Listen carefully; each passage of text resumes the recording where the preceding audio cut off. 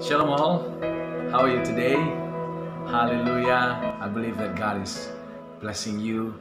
I would like to continue uh, our topic today, still in the series of heart, which is talking about a merry heart, a happy heart.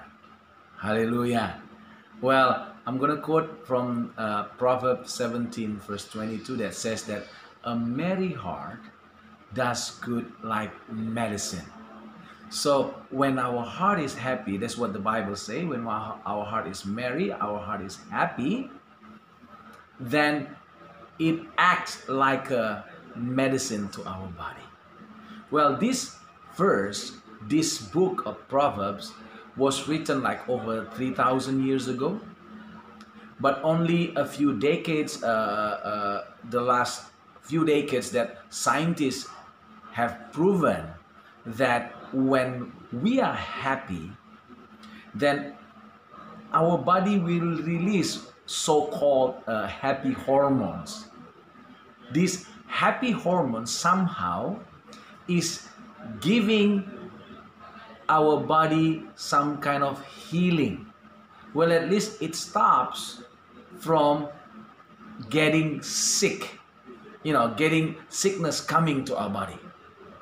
So they said that there are these these these so-called happy hormones, uh, dopamine, endorphin, serotonin, and also oxytocin.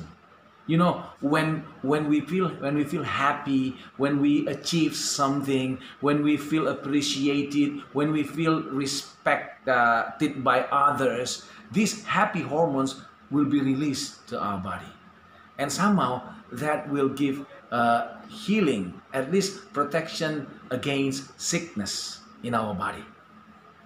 So we need, by, by this, we need to really guard our heart so that our heart will be in the state of happiness or joy always, that it will keep releasing these happy hormones that heals our body as opposed to those uh, bad hormones like noradrenaline that actually it it it it creates even sickness in our body.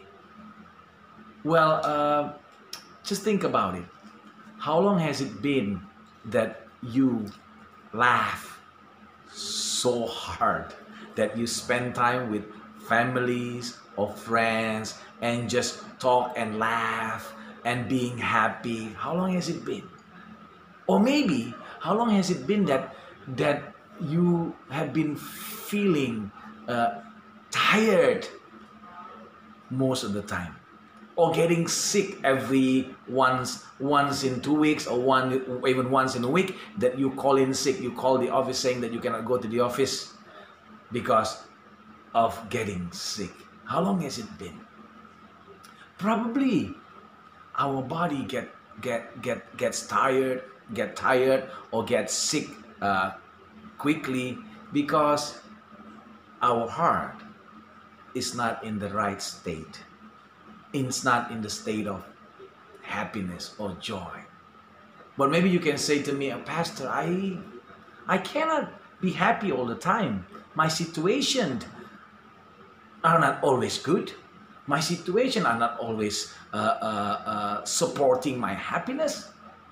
Well, it is true. In fact, everybody will face good times and bad times. But the thing is, happiness, like someone says, is a choice, right? We choose to be happy. I read once uh, a book by an author by the name of John C. Maxwell. He's the famous uh, author on or speaker on the topic of leadership. And I forgot the title of the book, but in that book, he was telling a story about uh, his wife, Mrs. John C. Maxwell, Mrs. Maxwell, who who was giving a, a, a speech, you know, a seminar to women. You know, this is like a women's seminar. And then at the time, in that book, Mr. Maxwell wrote down that he was not doing anything, so he was accompanying his wife, you know, giving this seminar. And during the question and answer session, and one of the uh, uh participant of the seminar was asking Mrs. Maxwell. And the question was, and Mr. Maxwell wrote down that when the question was asked, he was really shocked and even uh, wanted to get out of the room because the question was like was was like this. Uh, uh, Mrs. Maxwell, I want to ask questions. Yes, you can ask question. Uh, I want to ask, is Mr. Maxwell uh, making you happy? Of course, Mr. Maxwell, upon hearing that question, thinking what my wife is going to answer to these questions, and he was like, you know, sort of like in the book he, he, he was writing, he was like uh, shocked and wanting even to get out of the room, not wanting to hear what what, what his wife uh, answering to this question, and the wife answered this, and it was uh, I cannot forget this, and she said that, well, my husband is a good man He's not a drunkard. He's not a gambler, you know. He's not a cheater. He's a man of God. He's a good man, but he does not make me happy. And she said, I choose to be happy. That's what she said. And it dawned on me that that is true. There are many people, there are many husbands who have wives who are good, kind, you know, uh, supportive, but they don't seem to be to look happy. And I see even uh, wives who have husband who are responsibility, even handsome husband, but they don't seem to be happy. And I see some of my friends, they don't have many, but they look happy. You see, happiness is a choice. The Bible says so. Philippians, Philippians 4 4 says that, Apostle Paul says, rejoice always in the Lord. I say again, rejoice.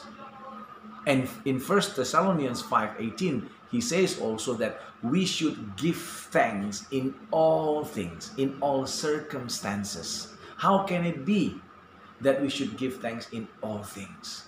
All things mean good, bad, high, low, ups, downs, more money or less money, accepted or rejected. In all things, give thanks.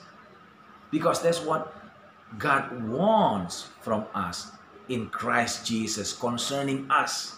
That's what the Word of God. So we should give thanks in all things.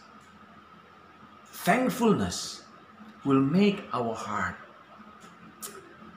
can be happy. Gratefulness is a choice to be happy. So we can choose to be happy, not because of our circumstances, but because God loves us and we have faith in Him. Well, this is not just a, a just a simple uh, uh, uh, set of mind that we are setting it. I want to be happy. I know. It's actually a lifestyle. A lifestyle of what? A lifestyle living in the Word of God. When we are living in the Word of God, we fill our heart, our mind with the Word of God. So our faith rises in us. Our heart is filled with hope and faith in God. That's what makes our heart can be happy all the time. Hallelujah. So guard your heart and have always a happy heart. Because of what? Because happy heart, merry heart does good like medicine. It will heal our body. Hallelujah. God bless you. We'll meet you again in another topic. But remember always that God is good and his faithfulness endures forever. Hallelujah. Amen.